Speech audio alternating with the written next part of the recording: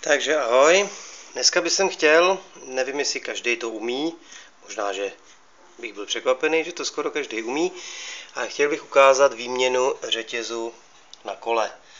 Jedno, jestli to je kolo horský nebo kolo silniční, řetěz se mění vždycky stejně a je potřeba ho měnit po nějakém množství kilometrů. Podle kvality řetězu samozřejmě to množství kilometrů s cenou řetězu stoupá. Eh, jsou řetězy, které vydrží 1000 km, jsou řetězy, které vydrží 2500 km. Samozřejmě, že se neopotřebovává pouze řetěz, který tady mám připravený nový, ale opotřebovává se i vzadu kazeta.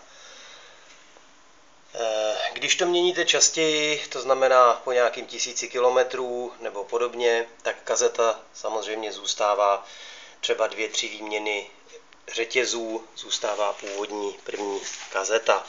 Když ovšem počkáte déle, musíte vyměnit obojí, protože potom to samozřejmě do sebe nepasuje. Ojetá kazeta a nový řetěz k sobě prostě nejde. Tady je taková jedna věc, což je měrka na řetěz. měrka má tady takhle, jestli to vidíte, tři takové zoubečky. Ono to je téměř neznatelný.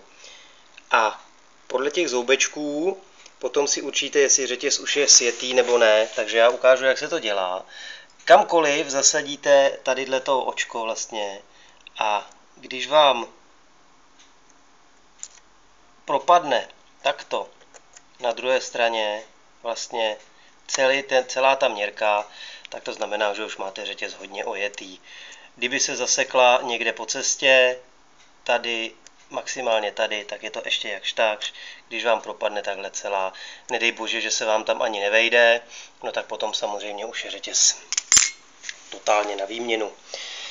Takže my si ukážeme, co je potřeba k výměně řetězu. Není toho moc, hm, spíše potřeba šikovnost, nebo ani ta není zas tak strašně důležitá.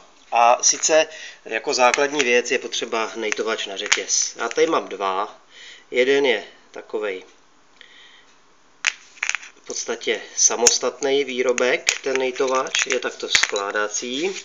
No a druhý je součástí uh, multiklíče, tohleto shodou okolností je od autora, myslím si, uh, multi nářadí a součástí jeho je tady ten nejtovač. Nejtovač se skládá vlastně ze dvou takových základních částí a to je sice tenhle šroub, který tady, jak vidíte, má vlastně na konci takovou jakoby jehlu, která nám tady vykukuje mezi ty mezi ty zobáčky takový a to sice teď je to vidět, jak to vyjelo už i závit. Takže jehla a ty zoubky. Jehla vlastně vytlačí jeden ten nejt, který jsou tadyhle, tak vlastně jeden tenhle ten nejt vytlačíte pomocí té jehly a potom vlastně naopak. Nesmí toho vytlačit úplně, aby vám nevypad, když vlastně byste chtěli řetěz použít znova. Ovšem, pokud ho likvidujete, tak pak je to samozřejmě jedno. Dá se samozřejmě zlikvidovat i tím, že ho normálně přestříhnete nebo přeříznete pilku, abyste s tím neměli takovou práci. Takže my se teďka podíváme, jak se to tak asi dělá.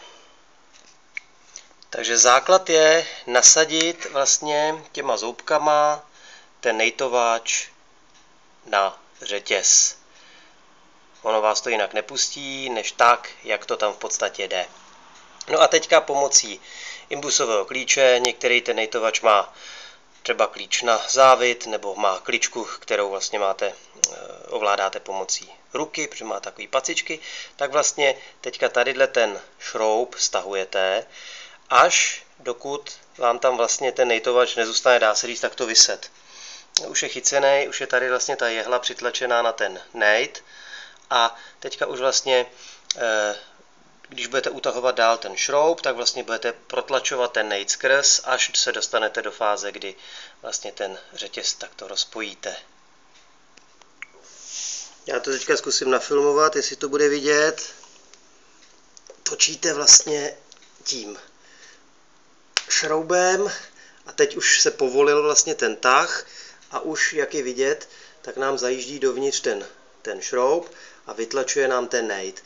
Abych ho, protože ten řetěz budu chtít použít ještě na starší kolo, tak abych ho úplně nevytlačil, musím dát pozor, protože potom by se mi tam nedal dát zpátky a musel bych ten řetěz zkrátit. Takže teďka jsme v takové fázi, že máme vlastně takto vytlačen ten nejt A my musíme vlastně takovým jakoby páčivým pohybem zjistit, jestli už se nám ten řetěz vlastně jakoby rozpojí. Ne, že bych byl cimprlich, ale vzal jsem si rukavice, protože přece jenom e, po používání je ten řetěz samozřejmě špinavý.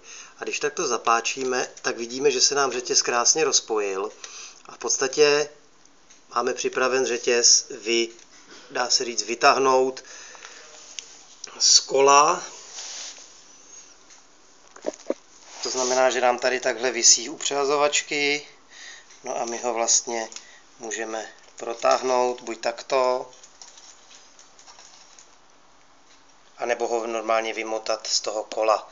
Takže si ukážeme, až budeme mít řetěz venku, jak se tam potom dává ten řetěz nový. E, co je ještě potřeba si zjistit, jak vlastně jste měli původně dlouhý ten řetěz. To je původní a tady ho vlastně máme takto e, srovnaný s tím novým a je vidět, že ten řetěz je stejně dlouhý. E, určitý kola mají řetězy delší, určitý je mají kratší.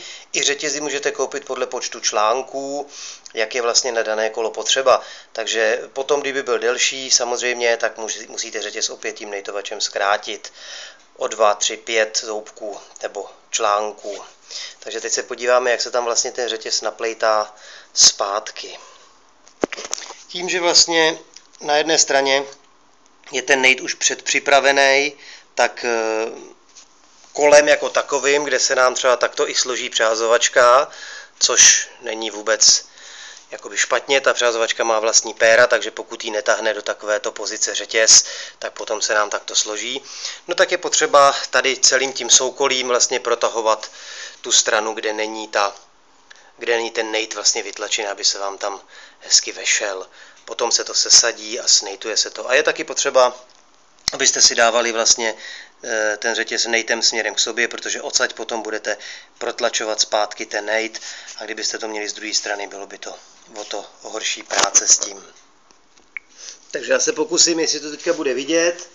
V podstatě řetěz jsme si na, napletli do, vlastně prostrčili jsme ho velkým tácem, prostrčili jsme ho přesmykačem, tahli jsme ho do, do přehazovačky, vlastně na kazetu, propletli jsme ho přehazovačkou teďka jsme se dostali v podstatě do takovéhle fáze, kdy my tadyhle zase takovým trošku jakoby tahem spojíme ten řetěz, měl by nám držet, aby nám nevyskakoval. On samozřejmě klouže, takže to možná nebude tak snadný to udělat, protože má mastné ruce. To je právě trošičku ten kámen úrazu jediný vlastně při té práci je tady ten. To znamená, že až se vám to tadyhle podaří takto zasadit do sebe, teď to tam skočilo, tak se můžeme podívat, kde vlastně tadyhle máme ten nejt, který budeme následně pomocí toho nejtovače vlastně dávat dovnitř toho řetězu a to sice takto musíme krásně spasovat ten čep toho nejtovače. Abyste se nelekli, to jsem měl já, telefon, nebojte se, nikdo nevolá vám. Takže tadyhle vidíme krásně, jak na sebe nasedá ten čep, zároveň s tím, s tím nejtem. No a my vlastně pomocí toho imbusu, nebo to, toho, na co je ten nejtovač určený, budeme takto stahovat ten řetěz k sobě, až proskočí nám vlastně ten nejtovač oběma částma toho řetězu. Už nám tam skočil, slyšeli jste to? A ještě ho doladíme, aby nebyl v podstatě vystouplý na jedné straně, to by nám dělalo neplechu. Takže doladit a uvidíme, jak to vypadá.